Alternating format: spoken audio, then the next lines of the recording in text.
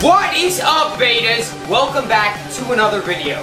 Today we're gonna show you how to be less of a beta male And more of an alpha male. The first thing you gotta do is quit dressing like a pussy. Yo, enough of that hipster garbage. You gotta unbutton those buttons and show off your chest.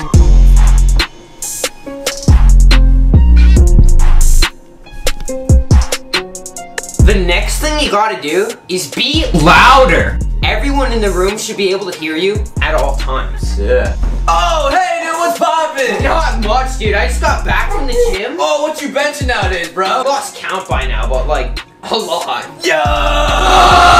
Yo, this brings us to our last point. You gotta start hitting the gym. Bang, bang it to the curb.